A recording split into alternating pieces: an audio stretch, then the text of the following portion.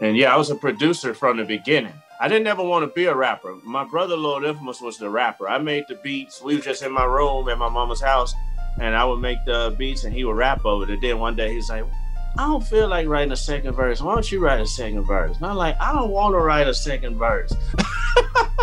and then I went on and wrote the second verse, and that's when I became a rapper. Thank God I wrote that second verse.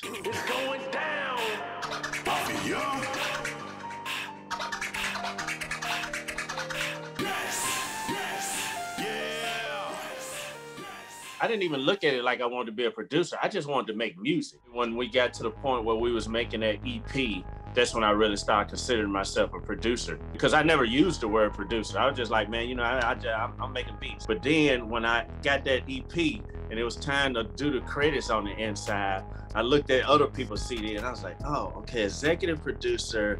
I think that's the one who put the money behind it.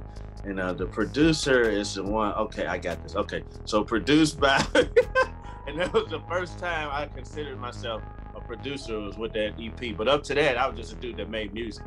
I was in high school and uh, brought out the EP, The Serial Killers. It went from that to uh, me becoming a DJ.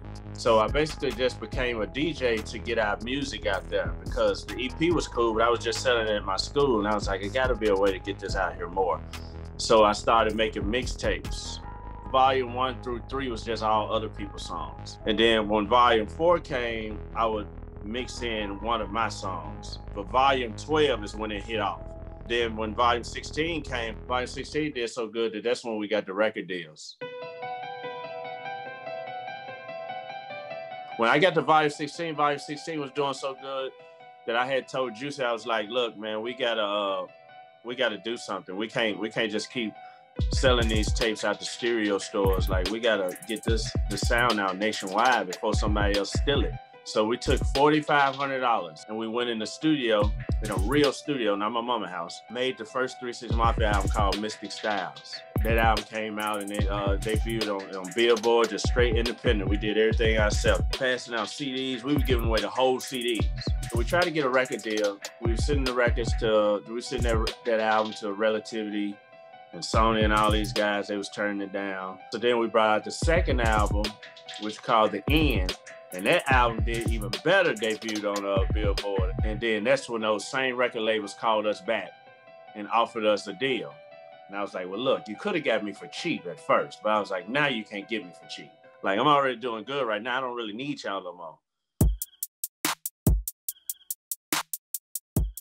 I was producing from the beginning because what happened was my daddy, he put me in uh, organ lessons and he made me start uh, taking organ lessons which I think is what created the creepiness in my music because that was the first instrument I played. And I still have that same organ in my studio right now from childhood.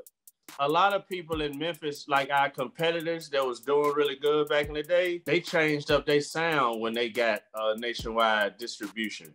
They started putting a bunch of like happy music and keys and guitars and making their music all pretty because they called it the nationwide sound they used to say that we didn't have a nationwide sound. I just kept to that same sound. You know, I didn't know I didn't want to do nothing different because I was like, this shit is hard, man. And I was like, people love this. Like, I don't want to do no nationwide sound. I said, yeah, we'll put some songs on here with some serious subjects. But I was like, for the most part, man, we finna have all us, man, a hundred.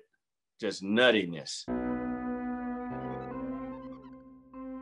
How it how it goes for me is I'll sit down and I listen to the artist number their biggest song. But I don't really go by that. I just listen to that just to see what what they got out radio wise. But then I go into their their albums and I look for the most the most undergroundest one on there. So like when I just produced a Trippie Redd album, Trippie Redd never did no crunk songs, no Three Six Mafia type songs or any of that. And I was like, man, Trippie Redd got a crazy fan base though. Like, and when you just look at Trippie Redd, I was like, you know, he just got that rock rowdy look and feel about him. I was like, man, I, that's what I think he need.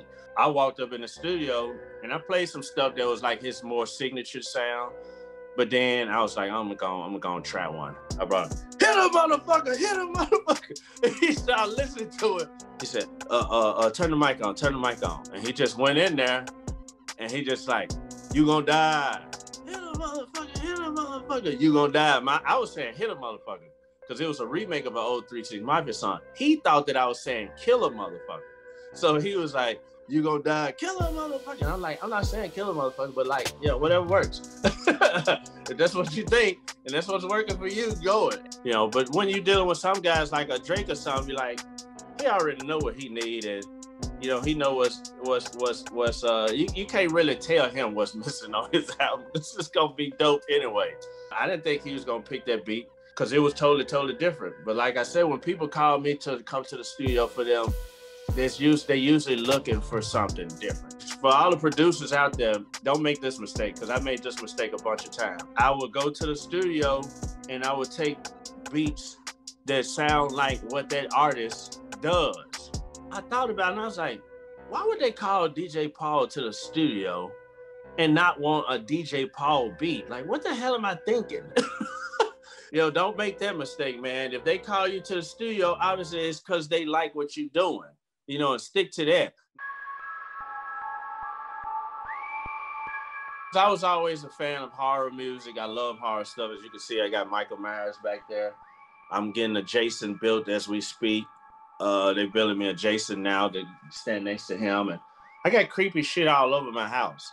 You know, I'm just in. I just was always into that. I'm a big Rob Zombie fan. I love his music, his movies, and his music. And I saw he had all these figurines of all these creepy uh, toys and stuff in his house, and I was like, man, I got to do that.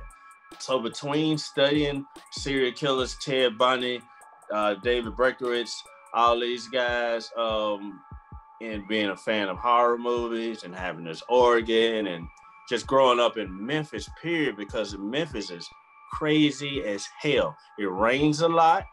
It's dark and it's gloomy. Uh, we was the robbery capital and we was the unemployment capital, which kind of goes hand in hand when you think about it. And just with all of that, I think that's just what did it. Hey man,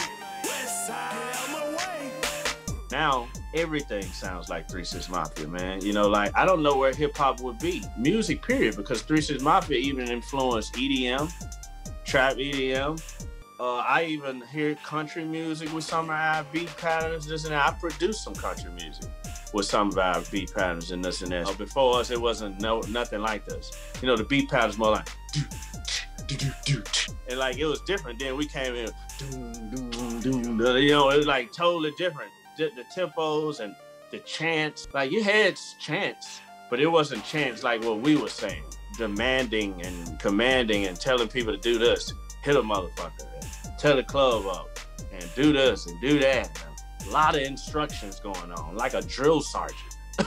you know what I'm saying? That's why I named the kid the Mafia Changed Music, man, because we we really did.